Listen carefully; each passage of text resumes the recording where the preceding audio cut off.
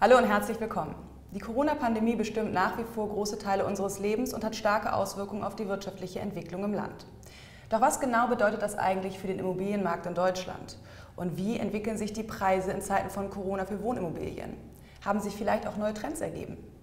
Über diese und viele weitere Fragen spreche ich heute mit Kai Enders, Vorstandsmitglied der Engel und Völkers AG. Herzlich willkommen, Herr Enders. Guten Tag, Frau Israel. Am Anfang wurde in der Immobilienbranche mit einer Corona-Flaute gerechnet. Wie hat sich der Markt denn nun tatsächlich in den letzten Monaten entwickelt? Corona hat äh, auf dem Immobilienmarkt für Verunsicherung gesorgt im ersten Schritt, zumindest für eine kurze Zeit. Verkäufer wollten keine Besichtigungen in ihren Wohnungen oder Häusern. Käufer waren unsicher, ob sie sich die Immobilien noch leisten können. Diese Situation hat sich aber relativ schnell wieder aufgelöst. Schon im April haben wir eine ansteigende Nachfrage festgestellt und seit Mai bewegen wir uns auf Vor-Corona-Niveau. Gibt es in der Marktentwicklung je nach Segment Unterschiede, die zu beobachten sind? Also bestehende Immobilien- und Neubauprojekte, Mietobjekte und Eigentum, wie sieht es da aus? Zu Beginn der Corona-Krise war der Markt insgesamt in einer Schockstarre. Für wenige Tage ging da sehr, sehr wenig und dann hat sich sehr schnell die Nachfrage gleichmäßig erholt. Wir haben keine Besonderheiten festgestellt, weder was die einzelnen Segmente angeht, noch in Bezug auf die Regionalität. Sofern wir über Wohnimmobilien sprechen, bei Büroimmobilien, Gewerbeimmobilien war das zum Teil durchaus anders. Woran liegt es denn, dass der Immobilienmarkt trotz der Pandemie einfach nicht einbricht? Wir haben uns gewundert, dass eine ganze Reihe von Experten genau das prognostiziert haben. Wir haben das von Anfang an nicht geglaubt. Denn für einen Einbruch am Immobilienmarkt müsste sich zum einen die Zahl der verfügbaren Immobilien schlagartig erhöhen, auf der anderen Seite müsste die Nachfrage drastisch zurückgehen. Beides ist nicht passiert. Die Bundesregierung hat eine ganze Reihe von klugen Entscheidungen getroffen. Die Menschen konnten ihre Miete bezahlen, sie konnten ihre Darlehen bedienen. Das hat dazu geführt, dass aus der Corona-Krise keine Immobilienkrise geworden ist. Und wir sind sehr froh darüber. Wie nehmen Sie denn als Unternehmen die Marktsituation in der Corona-Krise wahr? Wie hat sich da die Nachfrage auch entwickelt? Ende März, Anfang April gab es natürlich auch bei uns kaum Neugeschäft. Wir haben in dieser Zeit stark profitiert von Geschäften, die wir bereits im Vorfeld angebahnt und dann realisiert haben. Denn es gab sehr, sehr wenig Stornierungen, allenfalls Verschiebungen. Und ja, wenn man sich die Situation am Markt insgesamt anschaut, die Zinsen bleiben niedrig, Investitionen in Immobilien sind ein sicherer Hafen. Das Auf und Ab, was wir da an den Börsen gesehen haben, das gibt es auf dem Immobilienmarkt so nicht. Und in der Zeit der Corona-Krise hat die Bedeutung des eigenen Zuhauses sicherlich nochmal an Stellenwert gewonnen. Das glaube ich. Sie haben in einem Online-Artikel mal darüber gesprochen, über einen Aufschub durch den Lockdown und einen Nachholeffekt. Können Sie das ein bisschen genauer erläutern? In der ersten Zeit durfte man ja nicht auf die Inseln fahren und auch Fahrten in andere Bundesländer waren zum Teil stark reglementiert. Das hat insbesondere das Geschäft mit den Ferienimmobilien deutlich erschwert. Da haben wir jetzt starke Nachholeffekte gesehen, insbesondere im Juli und August. Aber auch im Bereich der Erstwohnsitzimmobilien kam es zu Verzögerungen. Das hat sich alles in den letzten Wochen aufgelöst. Die Immobilienpreise sind ja in den letzten Jahren vor allem in den Metropolregionen stark gestiegen. Jetzt hat durch die Corona-Krise Homeoffice eine ganz neue Bedeutung bekommen. Sehen Sie dadurch eine Entwicklung, dass die Menschen vielleicht in Zukunft weniger stark in die Stadt ziehen und auch wieder vermehrt aufs Land?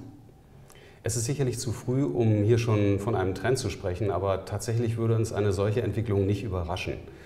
Äh, sofern die Immobilien nicht allzu weit von den Metropolregionen entfernt sind, könnten sie zu den Gewinnern der Krise gehören. Denn wenn man in Zukunft verstärkt im Homeoffice arbeitet, also vielleicht nur noch zwei oder drei Tage in der Woche ins Büro muss, dann hat dieses Thema Entfernung, Wohnung, Arbeitsstätte einen viel niedrigeren Stellenwert bei der Entscheidung für die Immobilie. Und ländliche Immobilien könnten genau davon profitieren. Das kann ich mir vorstellen. Jetzt kommt eine meiner am häufigsten gestellten Fragen. Ist denn jetzt gerade der richtige Zeitpunkt, um zu verkaufen oder auch zu kaufen? Wenn Sie vor einigen Jahren gekauft haben, dann haben Sie jetzt mit ziemlicher Wahrscheinlichkeit einen schönen Gewinn gemacht, wenn Sie verkaufen. Also ja, es ist ein guter Zeitpunkt, eine Immobilie zu verkaufen. Es ist aber auch nicht zu spät, in den Immobilienmarkt einzusteigen. Die Nachfrage ist hoch, das Angebot ist weiter knapp und durch die verspätete Fertigstellung von einigen Neubauprojekten sogar besonders knapp. Wir rechnen mit weiter steigenden Preisen. Die Urlaubssaison dauert nach wie vor an und viele Menschen möchten ja aktuell auch nicht auf ihre Reise wirklich verzichten. Welche Entwicklung sehen Sie denn auf dem Markt für Ferienimmobilien aktuell? Social Distancing ist eindeutig auch im Bereich der Ferienimmobilien angekommen. Viele Menschen möchten auch im Urlaub auf die eigenen vier Wände nicht verzichten. Ferienimmobilien gehören ganz eindeutig zu den Gewinnern der Krisensituation. Das sind jetzt die Gewinner. Wenn wir uns jetzt vielleicht auch noch mal Richtung Verlierer angucken, Es hat ja vor allem die Gewerbetreibenden und Einzelhandel stark getroffen jetzt während der Krise. Wie ist da die Entwicklung im Immobilienmarkt, was die Gewerbe- und Büroimmobilien betrifft? Also man kann sagen, dass Corona die ohnehin schon vorhandenen Trends weiter verstärkt hat. Retail, Gastronomie, Hotel, das ist auch vor Corona schon nicht ganz einfach gewesen. Logistikimmobilien, Wohnimmobilien, speziell Ferienimmobilien profitieren aktuell. Und bei den Büroimmobilien muss man die Entwicklung abwarten. Wir hatten in Vor-Corona-Zeiten praktisch keinen Leerstand in den Metropolregionen. Äh, Büromietverträge laufen relativ lang. Auf der anderen Seite machen sich aktuell viele Unternehmen Gedanken darüber, welchen Büroflächenbedarf sie in Zukunft noch haben. Das wird mittelfristig nicht ohne Auswirkungen auf Auslastung und damit dann auch auf die Preise bleiben.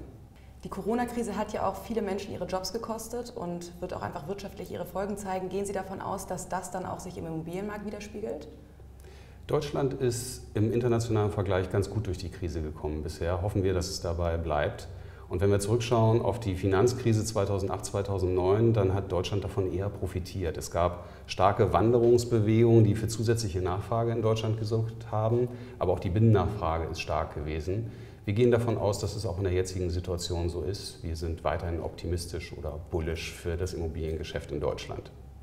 Das heißt, zusammenfassend gesehen ist der Immobilienmarkt bis jetzt recht robust durch die Krise gekommen. Es ist absolut der richtige Zeitpunkt, nach wie vor zu kaufen oder verkaufen und wir schauen recht positiv in die Zukunft. Das hätte ich nicht besser sagen können, Frau Israel. Dann vielen Dank für die Einblicke und auch Ausblicke und Ihnen vielen Dank fürs Zuschauen und bis zum nächsten Mal.